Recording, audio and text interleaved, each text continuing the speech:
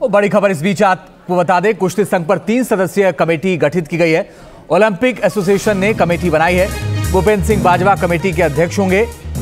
MM Saumya Manjusha Kanwar सदस्य होंगे। कुश्ती संघ का कामकाज देखेगी एडॉक कमेटी। तो ये इस कमेटी का ऐलान कर दिया गया है। भूपेंद्र सिंह बाजवा कमेटी के अध्यक्ष होंगे और साथ ही एमएम सौम्या मंजूषा कंवर दो सदस्य होंगे। तीन सदस्यों की ये कमेटी बनाई गई है।